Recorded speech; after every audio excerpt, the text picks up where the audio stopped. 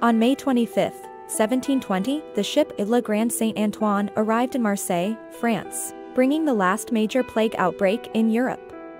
The plague, caused by the bacterium Yersinia pestis, spread through infected rats and fleas.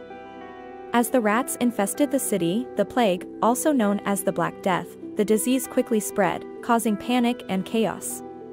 Within months, approximately 100,000 people in Marseille lost their lives to the plague. Efforts to quarantine the affected areas were largely ineffective. Eventually, the outbreak subsided due to depleted rat populations and improved sanitation measures. This event marked the end of Europe's major plague epidemics, emphasizing the importance of public health measures in preventing and containing infectious diseases.